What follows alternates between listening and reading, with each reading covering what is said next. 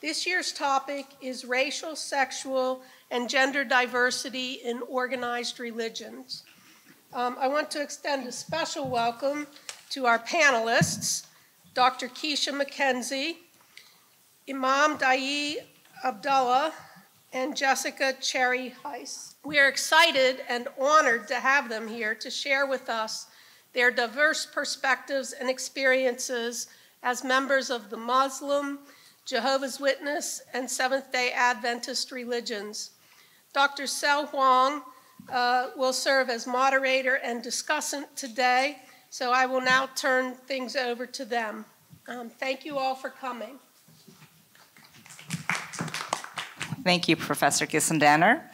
And so my name is Sel Huang. I'm very excited to be moderating this panel today. Thank you all so much for coming. According to a study by the Pew Research Group, um, and by the way, I'm, my name is Sel Huang. I'm assistant professor of women and gender studies.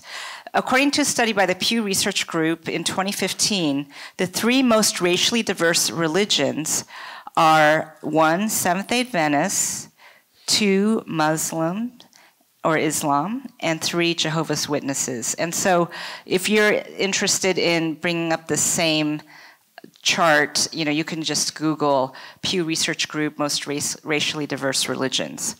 So this panel will feature three, three speakers of diverse genders and sexual orientations from each of these three religions who will discuss their lives and experiences in their respective religions. This panel will be organized in that each speaker will present, and then at the end we'll have a Q&A, you know, with all three speakers. So our first speaker is Dr. Keisha McKenzie. Um, Dr. Keisha McKenzie is program program officer at Auburn, a multi-faith leadership development center that equips leaders of faith and moral courage pursuing social justice. Educated in the UK, Jamaica, and West Texas, Keisha has worked across the US as a communication development strategist, faith organizer, board member, and speaker. So let's welcome Dr. Keisha McKenzie.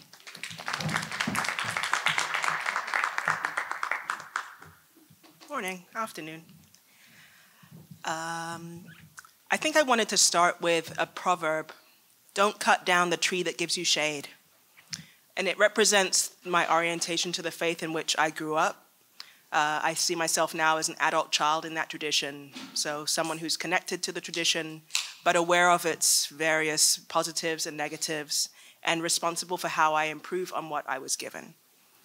So I grew up in Southeast London um, in the 80s and 90s, uh, in a majority Caribbean immigrant Seventh day Adventist congregation. I was in my early teens before I even realized that there were ever white Seventh day Adventists because all of the people in my denomination were black. Almost all of them were Caribbean immigrants to the UK. Um, some of them were from West Africa and North Africa. But it was a, a, long, long time before I realized there was any of this ethnic diversity within our tradition, in part because, um, like many religions, uh, Seventh day Adventism is not exempt from institutional racism and history of xenophobia in any of the territories that it, it participates in. So, in the UK, where my parents moved from the islands in the 1960s, um, the Caribbean immigrants came from um, communities that them, themselves had been missionized back in the early 1900s. And so my parents moved from Jamaica to the UK as Seventh day Adventists, but came into a church that was then indigenous uh, British, English, white. And over the 60s and 70s, that indigenous um, white culture began to move outside of London into the counties. And so, as those populations moved out of the city center, the churches themselves became less white and more immigrant. And so, by the time I was born in the 1980s, as I say, almost all of the people around me were Caribbean, were black, um, from either the Commonwealth or other parts of the world.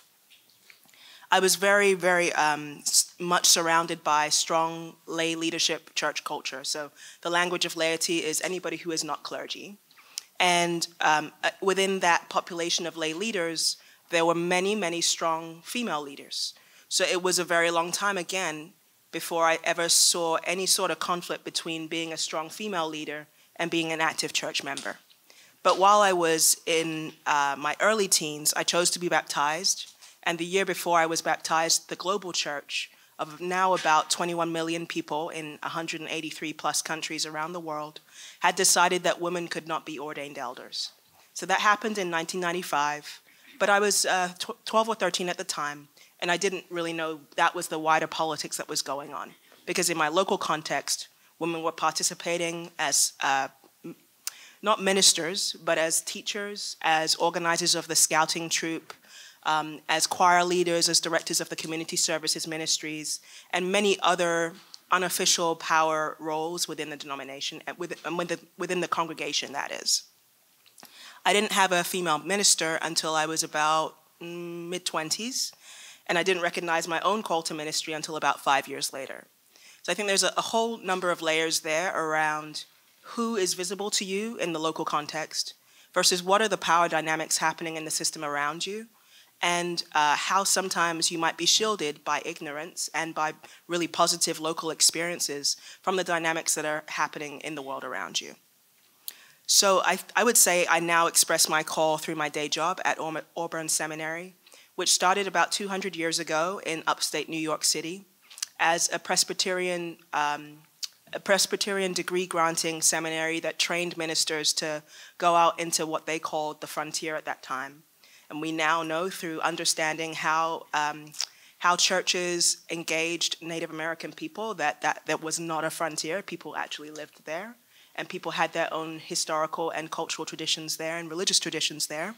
But Auburn was at that time part of a missionizing um, uh, educational tradition, and it began um, with training ministers, and then in the 1930s moved out from upstate New York into New York City, where it is now.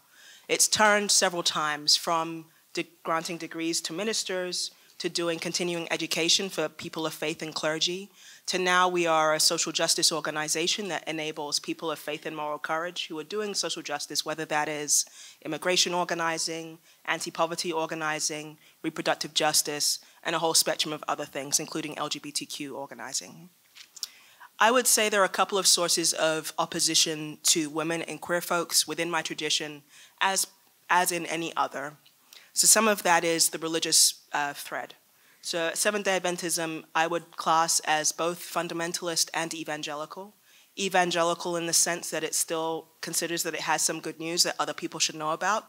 And so there's a drive to get that word out but fundamentalist in the sense that it's anchored in a particular text, uh, that being the Bible, with a, a couple of other um, key people who the tradition uses to interpret what the Bible might say. So that's one strand. The second strand would be socio, sociological and political.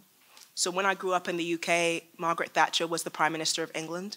And under her leadership, there was a law, a local administration law that said that schools could not teach anything other than um, heterosexuality in classes. And so, for the entire period between the late 1970s and 2003, schools could not teach about gay people. Schools could not teach about transgender identity. And so, for all of that period, there was a whole swathe of young people who grew up not really having quality language or ways of interpreting their own gender experience or their own sexuality or the sexuality and genders of others.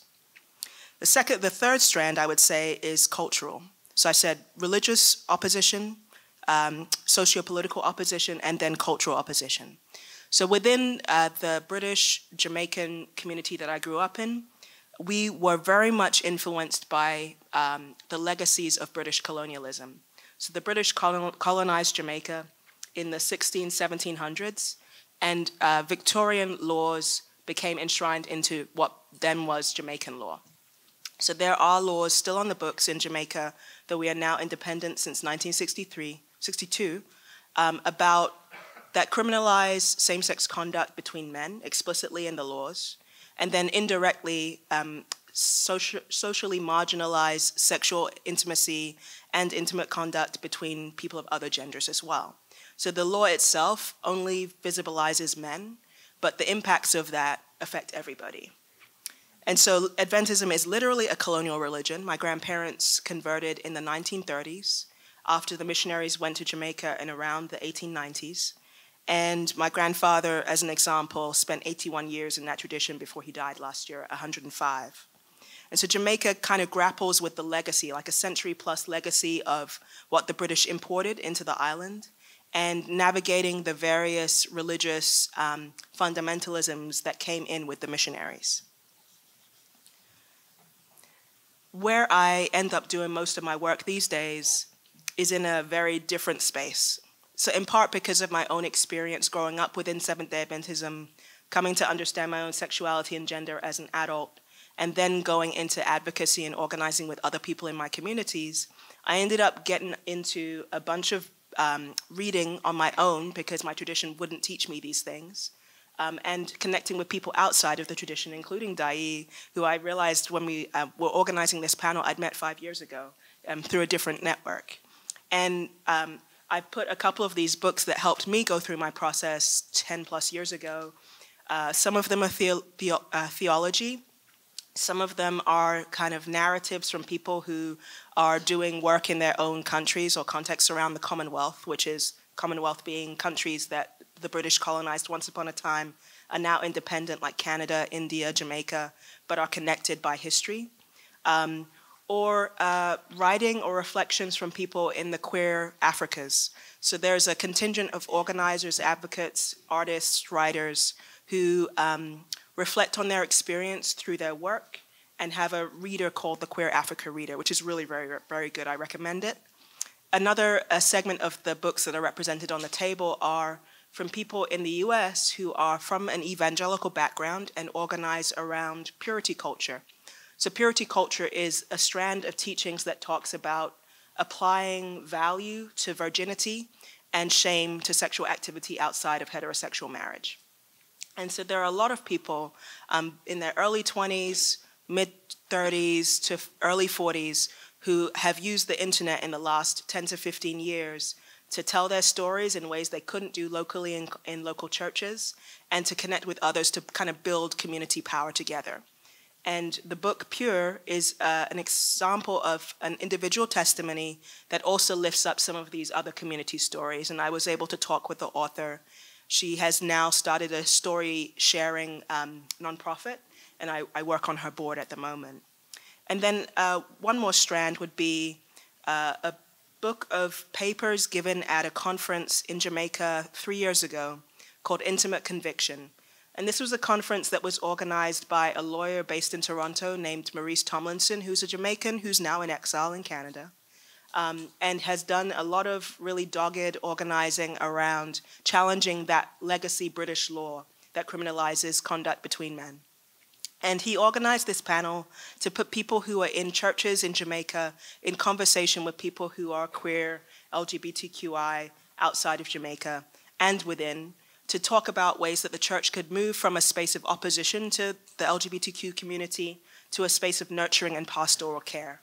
So many of us who are still rooted in our religious traditions recognize that as much as the church has been oppositional to us, st we still have a responsibility to correctly um, correctly handle the legacy of the spiritual wisdom that we've inherited and to make sure that the church's and religion's footprint on the lives of real people isn't oppressive because it doesn't necessarily have to be oppressive. It can be, and it historically has been in many scenarios, but it doesn't have to be. So there are a lot of us who are thinking about ways that we can take those core values and turn them towards things that are life giving. So I would say at Auburn, one of the things that we've been doing lately as a team is to think about how to execute that good footprint. And one of the projects that we work on is represented at the back of the room in a research based messaging guide for how to connect LGBTQ people, and conservative Christians, and to explore how conservative Christians' view on sexuality and gender might evolve. And so we have a messaging guide that, if you're in that context at all, might be helpful to you as you think about how to work with them. Um, and then the second project that I wanted to highlight is around reproductive justice. So there are three cohorts now of ordinary folks with zero to five years of organizing experience in Arizona, Phoenix, um, in Louisiana, New Orleans, and in um, Cheyenne, Wyoming. And these are people who we've brought together to connect and to share resources and strategies to think about reproductive justice, which is, as Sister Song defines it, the human right to maintain human bodily autonomy, to have children, to not have children than to raise the children that you have in safe and sustainable communities. And I just wanted to share like that spread of being rooted in a very narrowly defined tradition, but being able to go outside of that tradition, connect with others, and build power to make the world better. Thank you.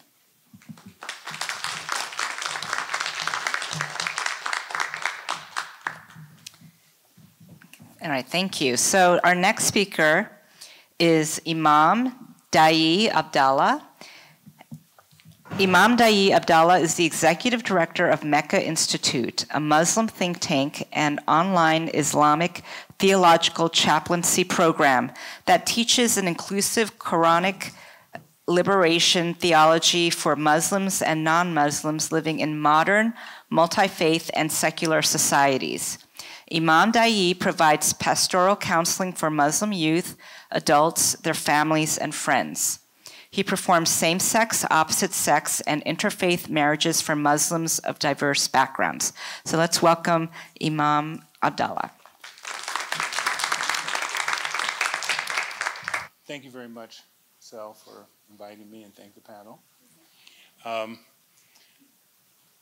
of course, I still, here it is now, nearly 35 years, Mm, well, almost 30 years, let's put it that way, 30 years of being out as a Muslim. And I still get people asking me the question, I never knew that there were queer Muslims.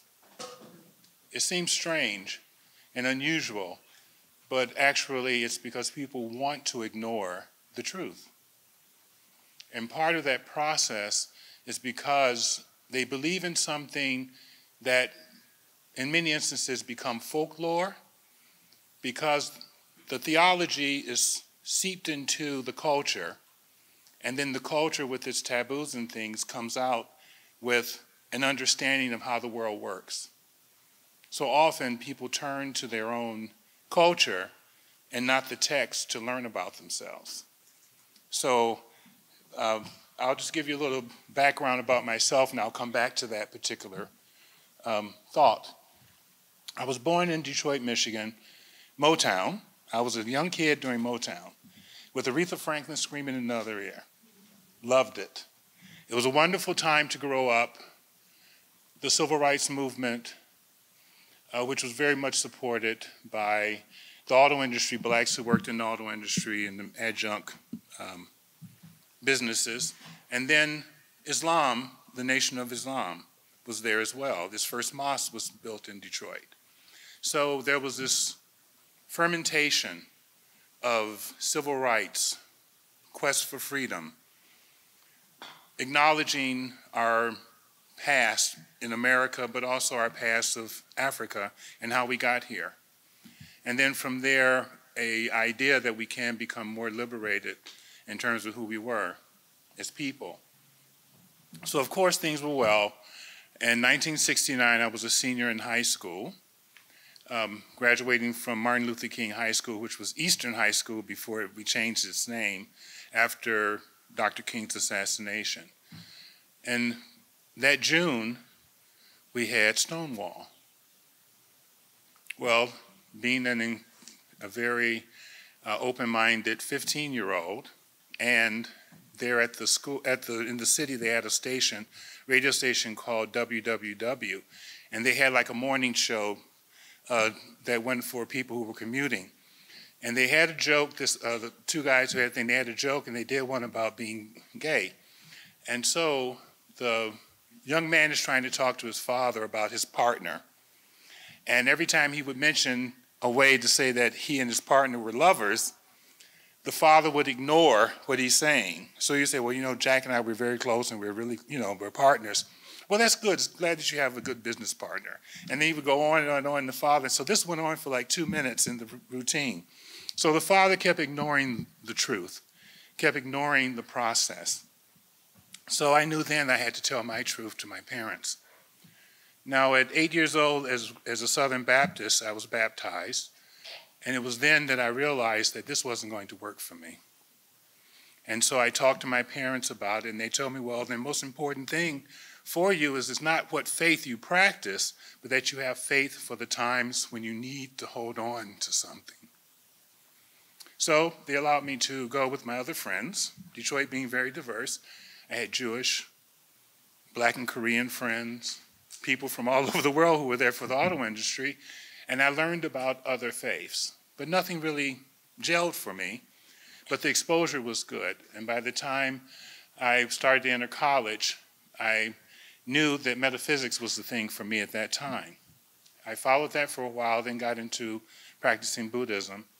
And eventually, it was not until several years later, after having lived in San Francisco, you heard me right, um, being involved in the black gay community there, and then going to Washington, D.C. Uh, during the first march, Gay and Lesbian March on Washington, in 1979. And I knew that Washington, D.C. was the black gay mecca, the place for me. So I relocated there, got involved in black gay activism, and it was through that process that I came to understand that we were powerful, that we as LGBTQ people, we had power, individual power, and as long as we didn't give it away to others, we then had a right to use it in a way to further our own personal and community uh, development, political, political or otherwise. In 1983, I went back to school because I had a vision. The vision said, study Chinese. Study Chinese. Well, through my process, I went to Georgetown University and said, I want to study Chinese. They said, Oh, we've been waiting for you. I wound up getting a community scholarship as a person who had worked in the community for several years successfully, and they said, But I wanted to change what I wanted to do. So they gave me a full fellowship, and nine months later, I was at Beijing University, continuing my studies, and then time in, in Taiwan, came back, did Arabic, and the same thing in the Middle East, a year in Egypt, a year in Jordan, and a year in Syria. It was then that I came back, did law school, and then I went back to the Middle East and worked in Saudi Arabia for several years. And it was there that I did my most intensive study of the Islamic theology. And I kept coming up and finding these alternative opinions that was going on. This scholar would say this, and this scholar would contradict them. The scholar would say is you can't be gay. The other would say yes, you can. so it was this type of thing of well, who's what, who's where, who's right, and it was through that process that I came to understand the aspect, as I said earlier, that is through each culture, people derive their understanding of the Quranic text. Because not only was I, I became Muslim in China, which is a very unusual place to become Muslim, but it was there. But I've traveled to 18 Muslim states, and I've lived in five of them. So part of that process helped me congeal and truly understand that this is what that is. That it is the way in which people think about their religion and what the cultural taboos have taught them what you can and cannot do. And that's not just for LGBTQ, but that's for women's rights or women. That's for how children are supposed to interact, and even the elderly as well. Then, um, and part of that process of coming back um, to the to the thing that when I came back from Saudi Arabia in, in 1999, um, well, I should say, let me start. In 1994, I was out as a Muslim in the religious community in Washington, D.C. And then in 1999, Faisal Alam started Al Fatiha, which is um, Quranic uh, for the opening, and that was for LGBTQ Muslims. And I was in Saudi Arabia at the time doing my research, and I contacted him and sent him my research and said, hey, this is what I found. And from that, I eventually became spiritual leader for the queer Muslim community in the United States and expanded uh, beyond that. The, but that also allowed me to do two things. One, to meet with other Islamic scholars who were queer, lesbian, um, gay, and then also to run MGM, Muslim Gay Men, which was an online Yahoo group. And it was there that through my additional training with the head of the Islamic um, Shura Council, meaning the Islamic Legal Council, who was my mentor for three years, I was able to start taking those, um, what's the word I want to use? Those folklore beliefs and to be able to challenge them because I had the, the, only the linguistic, but also now the scholarly background that I needed to be able to confront those particular issues. And it got to the point where scholars didn't argue with me anymore. They came to understand that we have an agreement that we just have difference of opinion, which has always been the Islamic faith because they have five different schools of thought.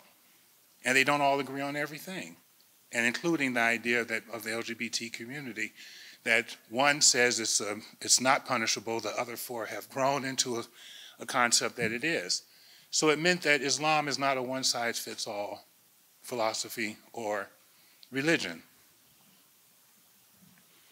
Taking that information a step further, um, again, I had a vision in 2014 to start Mecca Institute. And it was there that that in 2015, actually, the organization became um, legal, a legal organization.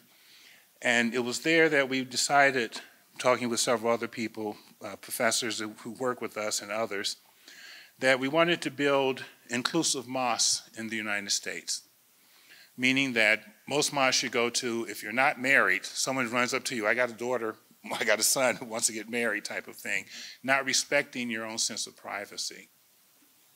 And therefore, if you didn't accept this invitation, or if you didn't eventually accept an invitation for marriage, then something was wrong with you. And that was okay. But through the process of talking, developing, and building inclusive mosques, because there are a few of them in the United States today, we found places where we can go and worship and our sexual orientation had nothing to do with it. But where the faith was in our hearts, how we understood it, and how we interacted with each other in our community. Uh, Mecca Institute continues to play an important role because uh, just last year, in December actually, I released a fatwa, which is a religious opinion, legal opinion, um, and I did something that had never been done before, and that was a fatwa on medical marijuana and how it can be utilized for improving people's health. And I've not gotten any objections to it. I haven't read anything in the papers or the magazines or anything saying that I'm doing something wrong, because as um, herbal medicine within Islamic concept has always been permissible, and this is one of the ones that has been. So what it does is it allows people to improve their life. And so Mecca Institute's real goal has always been to fight for something and not fight against something, which is a very different view because most of the time people are fighting, you know, using Islam to fight for, fight against these different isms versus fighting for the development of a greater understanding of the faith, a greater understanding of how the different communities should be interacting with each other and not being politicized. Uh, fighting for the ways in which we can be inclusive, because the main concept of Islam is taqwa, unification, unity.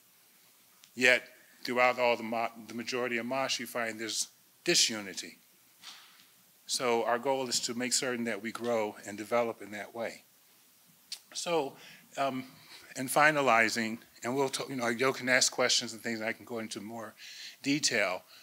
The way in which Islam is now better understood is because of the LGBT community and women who are now who have women mosques. We have uh, two of them here in the United States, um, one in Canada and one in Germany, um, where the inclusion aspect is there. It doesn't matter who you are, what color you are, what your sexual orientation is, your background, rich or poor, educated or uneducated, you're welcomed in for the process of faith and developing one's faith. So in that way, I think that we're seeing Islam grow. And one final point, in my TED talk I did several years ago, I asked the community that was there present, I said, I have a question for you. 150 years from now, we'll probably have people living on other planets, doing whatever they'll be doing. And I got a question for you. Where do you park your camel? So what that does, just like you, you're like, well, what do you mean? that means that we cannot take what was ancient what from antiquity and project it into the future when none of the context is the same. We can utilize part of the learning. Okay, where do you park your camel where you don't run over people in the street with your cars? So you don't run over people with your, you know, rocket jets and stuff. but also that we cannot always depend on the past to give us answers for the future. So I look forward to your questions. Thank you. Thank you, Imam Daayiee. And then our third speaker is Jessica Chery-Hise. Jessica Chery-Hise is a Hispanic lesbian who's born into the Jehovah's Witness religion and raised as one until she left the religion 12 years ago.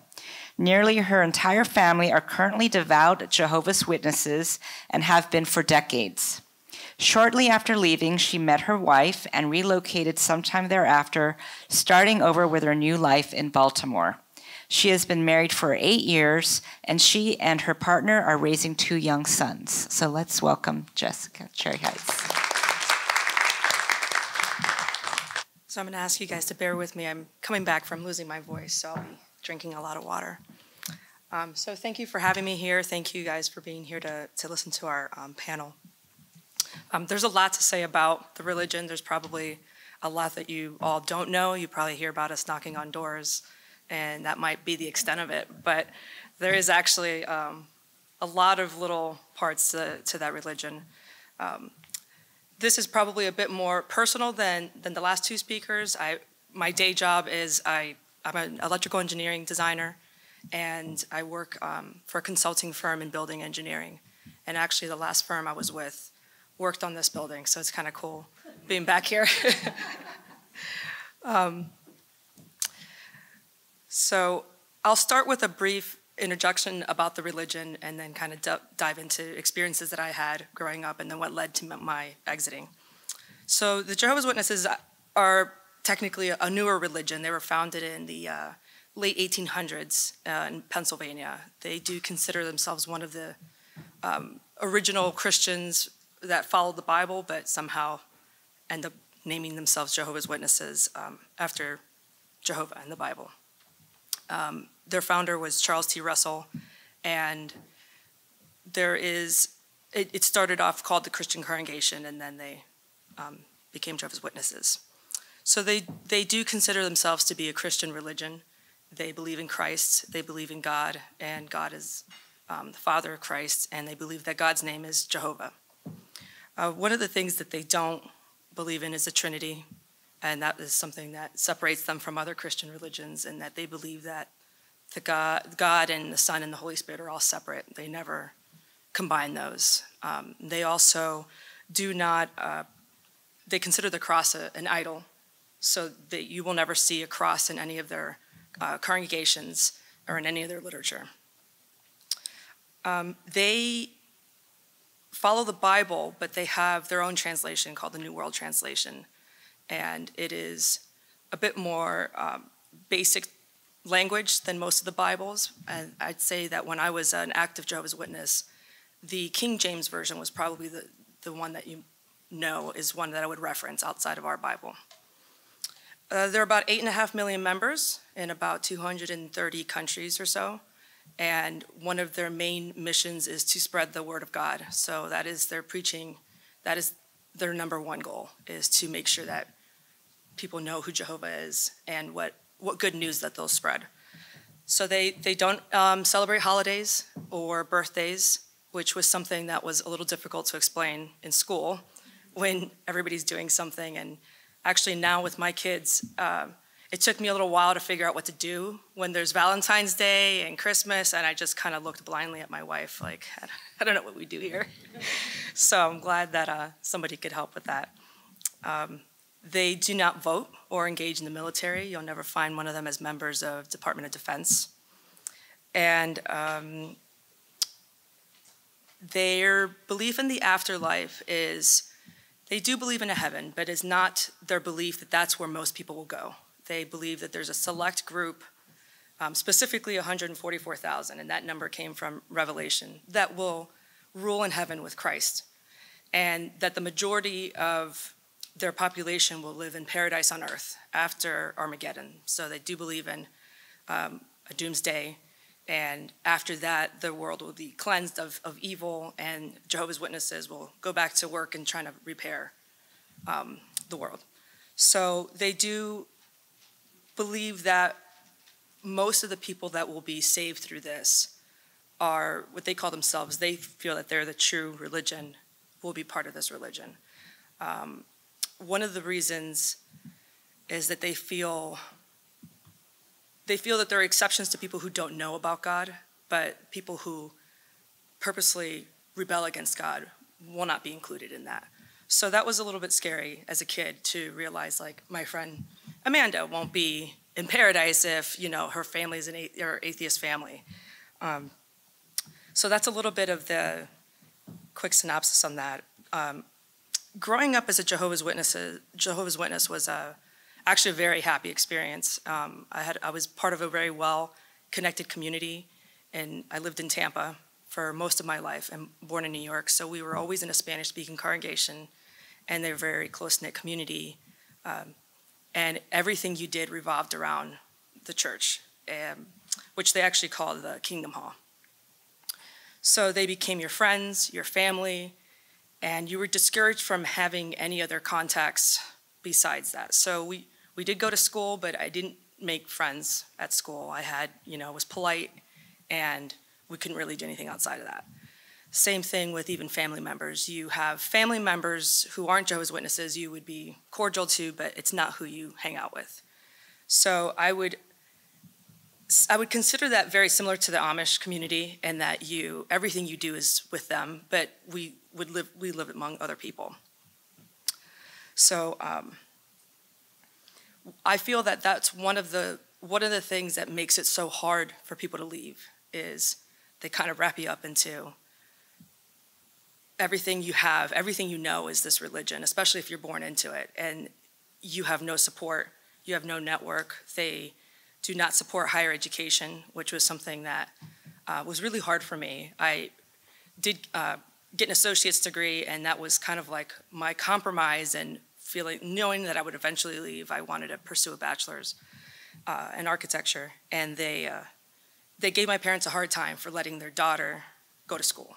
So they really don't encourage anything beyond high school. And it makes it really difficult to obviously have a career. So if you are too devoted to the career and not enough time towards the ministry, that was something that was looked down upon as well. So leaving there was a huge um, eye opener because it, you don't know what to do. You're really not uh, taught to plan for retirement. You're, you're taught that Armageddon's coming, so why would you plan for 40 years from now to do anything.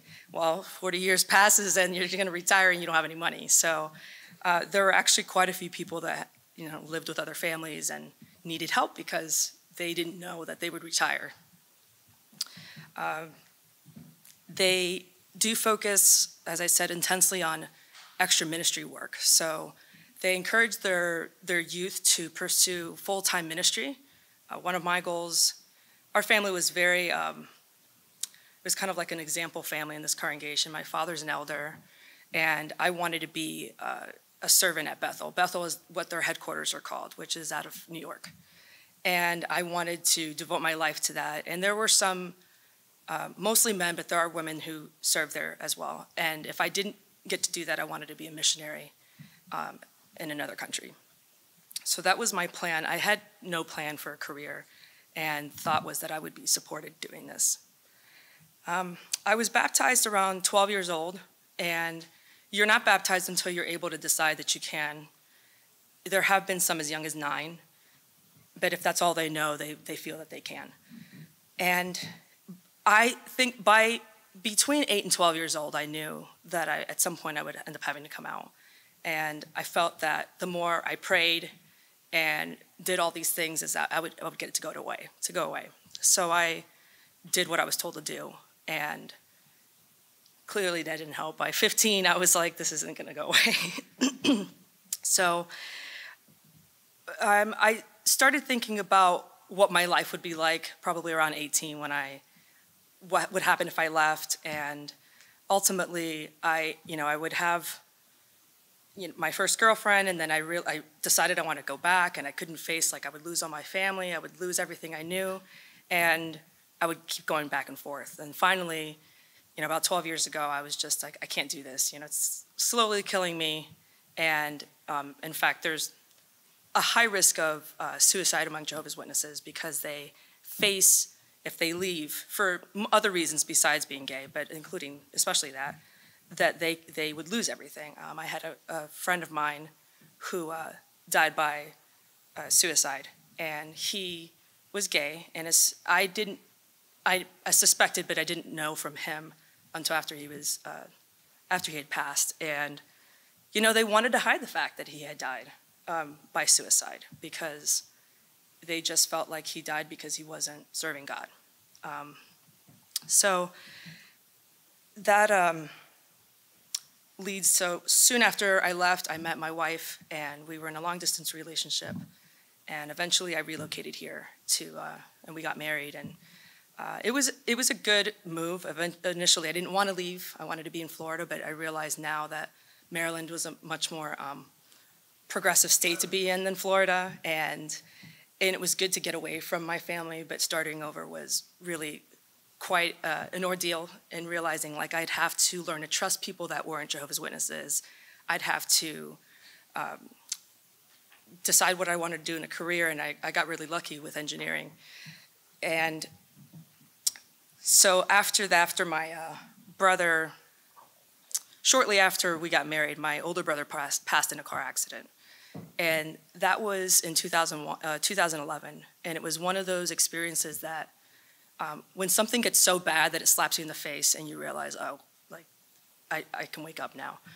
Uh, I, when I went down there, I, I flew down the same night, and um, for the service, my brother was very well known in his community. There were about 1,500 people at his service, and people had brought up my marriage. Now, I went down knowing like I wasn't going to talk about it. It had just happened. I took my ring off.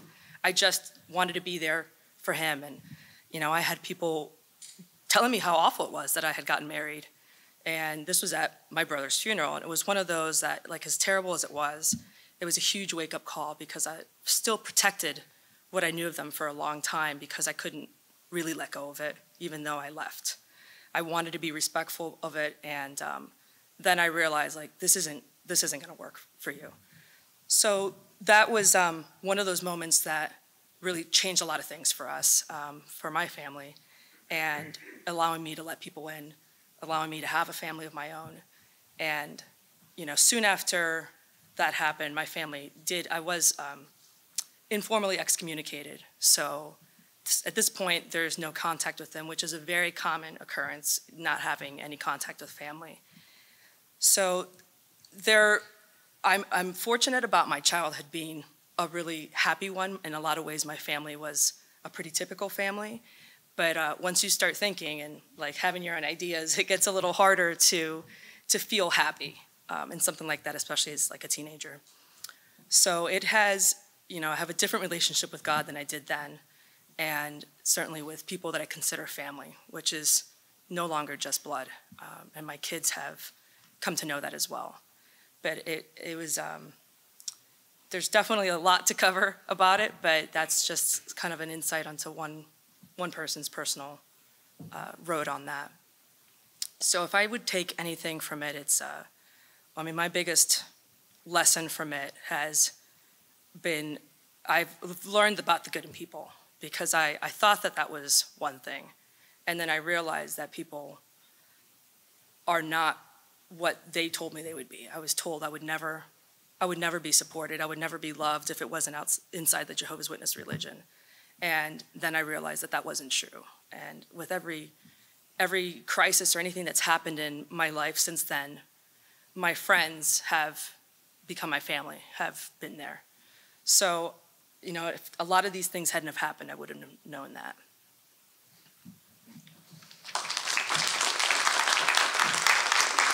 So thank you. Those were three really great presentations.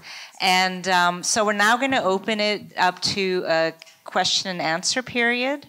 And uh, we have a microphone set up here. So if anyone has any questions, feel free to um, come up, or I don't know, maybe we could even pass around the microphone if people feel self conscious about uh, having to come up there to say something. So, are there any questions? Thank you all. Very fascinating. My question is for the imam. So you said something about parking your camel, where you're going to park your camel. Yes. That you're, you're looking at things that were in the past that are no longer relevant today. So then, why use the book? Well- Because it's old, and I have the same question about the Bible too. It's like, we don't slaughter goats anymore to God. Mm -hmm. So why are we using this book? Okay. Um, I think that in my reading the, the Quran several different ways, one, the first time, in the way in which I was told to do it, which was from the start, the beginning, and read all the way to the back. But then I learned that there was a way of reading it chronologically. How did the revelation come down? And when I did that, the back of my head blew off. And so I had to be able to put the pieces back together, and I had bigger space to think outside of the box.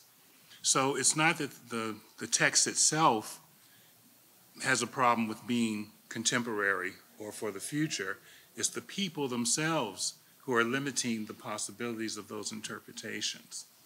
So this is why I encourage people to read it chronologically in the way it came down throughout the prophet so that they can understand this context and what were the lessons that were being taught at the time, and can those lessons be utilized in contemporary times and potentially into the future? What has happened is that they've con- contextualized it to such a way and where now they have explanations or they have folklore, what they call a hadith, which are references as to what the prophet supposedly had done, but the scholars all say that of the 5,000 considered correct or safe um, ahadith, only about 100 of them are historically accurate. So people are believing in a folklore, this mythical image, just like in Christianity, they have a Jesus and then they have a mythical Jesus. So it's the same thing with the Prophet Muhammad in a very similar way. And so when you read the Quran and its contextual understanding, then you can see that it opens up the heart, it opens up the mind. In the same way which the prophet said, or the vision came to him, that when he opened up, you know, went into his closet and then was revealed to him, it took his breath away. And I had a similar experience. And others have told me they've had something similar. But you have to be able to see beyond what people tell you in order for that event to happen. And so the, the book itself, I find, is, is um, a great strength. It's just that how Muslims do it. And one last thing when I was living in Egypt, my first time in the Middle East, I used to go to a neighborhood mosque. And there was this old guy, probably around 80 some years old. So one day he said to me, I want to talk to you. And I kept going back and back. And then one day I saw him about a month later. And he said to me, he said, I want to tell you something. Follow the Quran. Don't do as you see other Muslims do. If you follow the Muslims, you'll ruin your faith. And I took that to heart. Hi, um, I had a question for you. Um, where do you stand with your family now? I, uh, Yeah, that's the mic. Thank you. So for the past uh, nine years or so, I have had very limited contact with uh, any of my family that's Jehovah's Witnesses, for the exception, with the exception of my mother.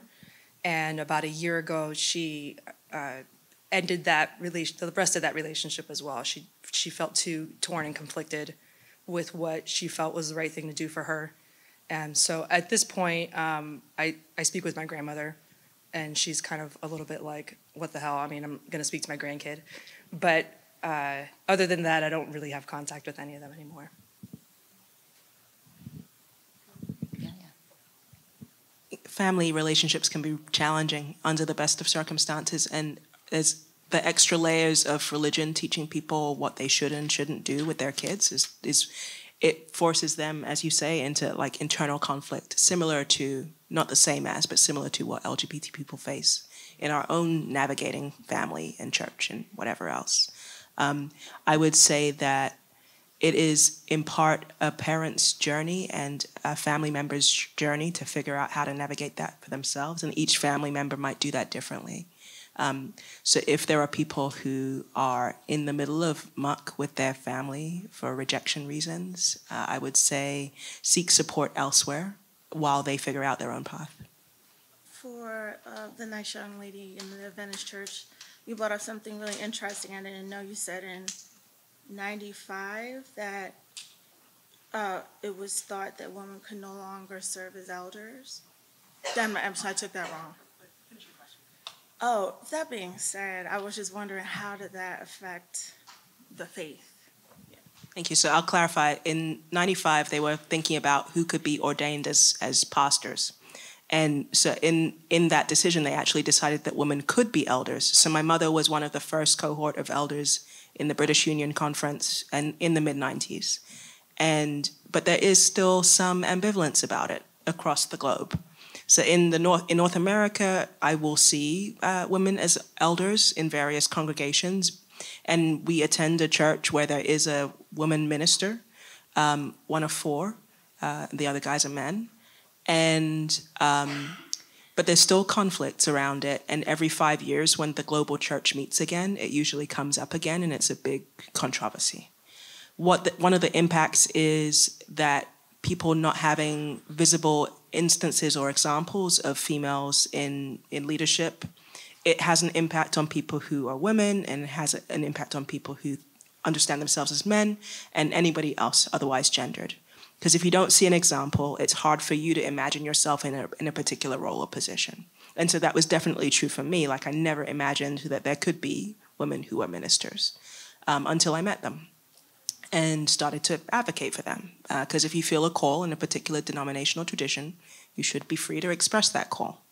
Um, I think another of the impacts is uh, teaching people that it's okay to maintain patriarchal understandings of how people should relate to each other. So if you value uh, ministers above clergy, which I don't think you should do, but if you do that, then it teaches you to value one gender over another implicitly and, and by how you allocate power to those people who have a collar or whatever. Like there has, um, there are social impacts from that decision to close off access to a profession to only one gender.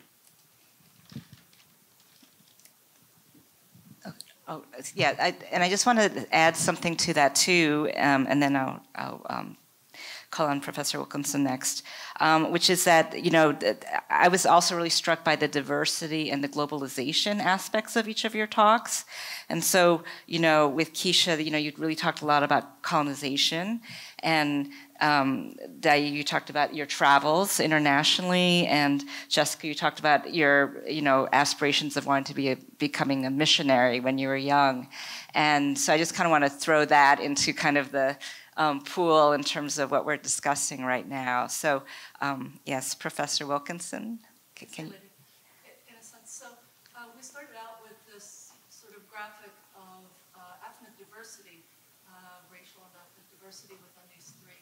Um, but I noticed only Daayiee really talked a lot about ethnic diversity, sort of as your your journey even in high school, right, and then studying in China and, and throughout the Middle East um, but both of the other speakers actually spoke to very, very tight-knit, um, ethnically homogenous um, groups, even though the religion as a whole is quite diverse. And I wondered if, if you would comment on that a bit. Uh, when, when did you, you were saying, I didn't know there were white Seventh-day Adventists. thinking, what about Ellen White? um,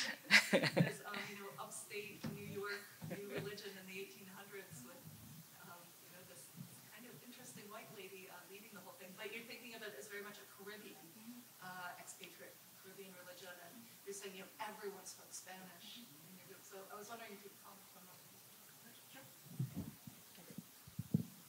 So that, that's a good point, and uh, one of the things that I wanted to elaborate on actually. So I grew up in a, in an area where there were a lot of Hispanics, and my parents raised us speaking Spanish first, and um, we luckily had a congregation that spoke Spanish, but we stayed in there until I was about 17, and my younger brother had a hard time speaking Spanish after you know, being born here, and he's just like, I can't keep up. So we did move to an English speaking one. And I'd say in the Tampa Bay area now that the Spanish speaking congregations have surpassed all the others. But um, they are, everywhere my parents travel, they find a Kingdom Hall and they go and they meet the, the they call them brothers and sisters. Um, but I, I had a hard time. I knew the scriptures in Spanish. I didn't know them in English. Um, there are some, you know, Bible books that they sound similar, so you know what they are. But it was hard for me to do preaching work in English, even though everything else in my life I spoke in English, except for at home. But at school I spoke English, and and then I had a hard time at church. But they they consider themselves to to love past any race, ethnic background, and they have these conventions every year. Um, they have local ones where you would go, and, and it's you know usually a couple hours drive, but they do have international conventions where they get together many of the countries, um, Jehovah's Witnesses representing those countries, and only a few from each country could go. But they, you know, they have translators there, and um, that's I've heard is a for them a pretty awesome experience because they can see what this looks like around the globe. I think structurally, um, Adventism is, is similar to the Jehovah's Witnesses. Both we started at the same time, roughly the same time, and I think there were some early co- collaborations between the founders once upon a time. Um, I would say that in the U.S. anyway, there's the fact that Adventism arose in the 1840s and then organized as a denomination in the 1860s. It was just in time for the U.S. Civil War, where segregation between black and white races, particularly, was really like a fundamental part of society. And there were some early disagreements about whether the early churches or congregations should be mixed ethnically. And the um, pragmatic answer at that time was mix where you can, and where people are racist, don't bother so that you don't attract negative attention. So that was the compromise at the time and how it's um, been worked out in the centuries since is the US began a system where it had a parallel structure for black congregations and white congregations in the 1940s. And that happened after an incident down the street in Maryland where uh, a black woman, a light skinned black woman, attempted to go to an Adventist hospital. And when they discovered she was black, she was turned away and she eventually died. And after that incident, the church administratively split. So then you might come up in a in a congregation that is in a, a majority white congregation, a, a, majority white conference, and you might have um, uh, Latinx immigrants, and you might have um, white folks, and you might have some Caribbean immigrants. But if you go into the black congregations, it's largely going to be um, Americans, American blacks, and some uh, some Caribbean folks as well. Um, so you'll see people having a diversity of experiences and depending on the congregation that they come up in. But there'll be a lot of mixing in the colleges and universities, and a lot of mixing now that we're maturing in the in the medical industry as well. So it, it varies a lot in the U.S. So we have, oh, oh sorry. There was something I, I wanted to add to that. Um, one of the things in the U.S., what I noticed with the preaching work is that it tends to attract immigrants, uh, and part of that is that uh, people who are who are here and they're not established and they don't have a community that draws them to a group like Jehovah's Witnesses. They're very warm and loving, and they you know they bring you in and they provide for you, and in in a lot of ways, maybe not materially, but almost all the other ways that they can. So. Um, when, when we were preaching in Florida um, around the time of Hurricane Katrina, we had a lot of people that were here from, they were in Florida from Louisiana, and they, uh, that suddenly we had a lot of Bible studies um, for people who were out of state, and they found that they needed to reach out to God, and we were actively appearing there at their door. So um, I, I find that in the, in the States you will find more um, diversity than you would um, people who were born and raised here and they have their own you know roots. So we have a little more time. Any more questions? Uh, so I guess this is a question for all of you. Do you find that you get a lot of opposition because you belong to the LGBTQ community within your own religious sectors? Do you find that that's very difficult to navigate? Or do you kind of have your own communities where it can be easier to, I guess, coexist?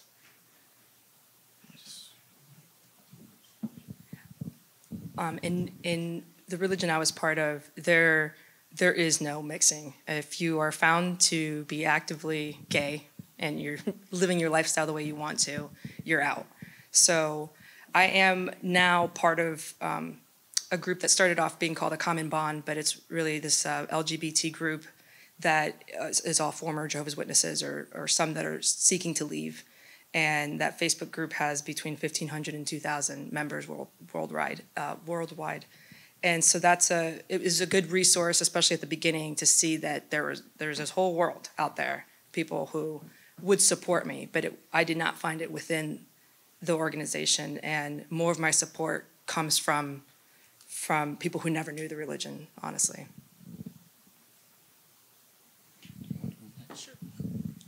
writing.